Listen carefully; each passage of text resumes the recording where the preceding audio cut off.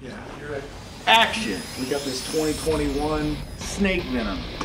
Snake Venom green. See that bad boy in the sun. It's like three different colors in the sun. We got this 2020, it's white. This light one, it's got the turret exhaust or whatever you call it, where they spin, guns. Bam! Bam!